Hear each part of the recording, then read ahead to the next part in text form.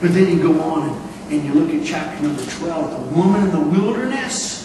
You know, as, as like the nation of Israel, the devil being cast out of heaven. And in verse number uh, verse number 11, I, I think I put uh, in chapter number 12, verse number 11, think about uh, this. And they overcame him by the blood of the Lamb, by the word of their testimony. They loved not their lives unto death. Think about this. In verse 9, the great dragon was cast out. That old serpent called the devil and Satan, which did what? Deceived the whole world. He's a deceiver, and accuser of the brethren. Chapter 13, the beast out of the sea, the beast out of the earth, the Antichrist, the, the false prophet. Look in verse number 6 of chapter 13. Look, at what he does. And he opened his mouth in blasphemy against God to blaspheme his name and his tabernacle and them that dwell in heaven. Blasphemies, blasphemies, blasphemies. Just, I mean, we don't want to play around with this stuff. I want to see folk get saved.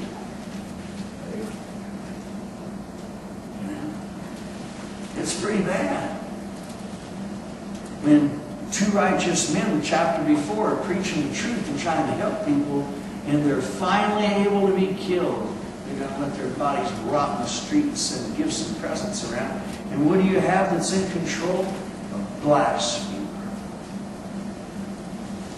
But the Bible says God shall send them strong delusion they should believe a lie. That's what it says.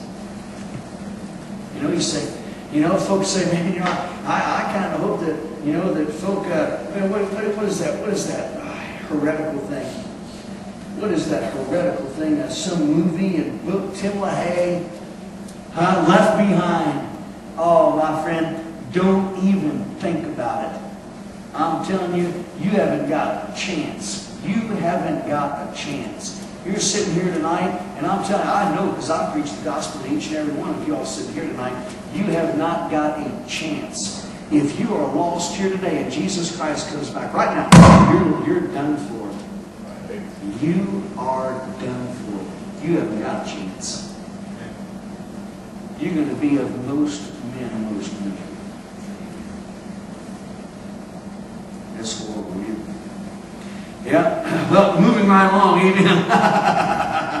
and uh, chapter 14, you have the lamb, right? You have the lamb in chapter 14. You have the 144,000. You have the, the harpers. You have the beast. And you have the sickles, remember? But look in verse number 1. How many are there?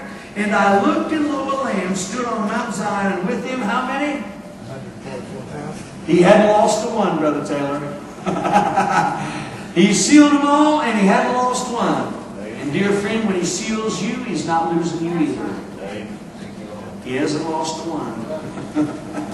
Amen. I just thought that was pretty nice. I like that. Then you have in chapter 15, my harpers. The harpers on the sea of glass, that fiery sea of glass. Amen. I'm looking forward. I'm ah, serious. I'm telling you, Wesley, I hope I'm one of them. I hope I get a harp, you know, and I can just sit there and, you know, and since no scene's going to be up there, it won't matter how I do it.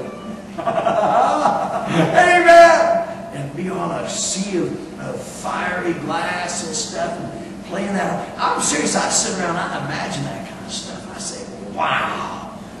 Wow. I mean, wow. I mean, other guys, they think of, you know, uh, Pink Floyd something and go, wow, man, this is way beyond that. We're talking about being in glory. Oh, wow.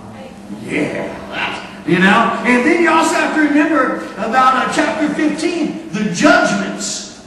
Judgments, and I gave you three thoughts about them. Judgment is sure.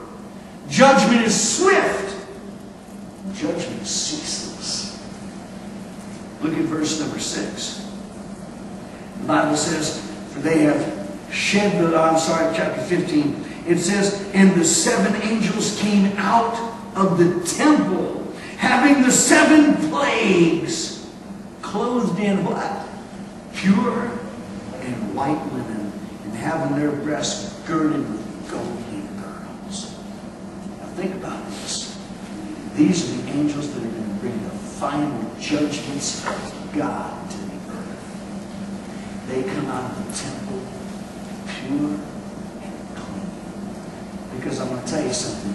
The judgment of God upon a sinner is pure and clean judgment.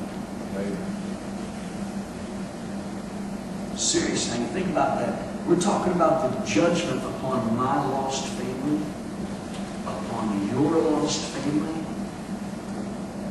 It's pure. It's clean. They had the opportunity. They did with it what they would. Hopefully, we tried as hard as we could as ambassadors of Jesus Christ to help them. But after that, friend, it's the judgment of God. And it's going to be pure, and it will be clean. It'll be destruction and mayhem and torment and torture, and, but it is pure and clean.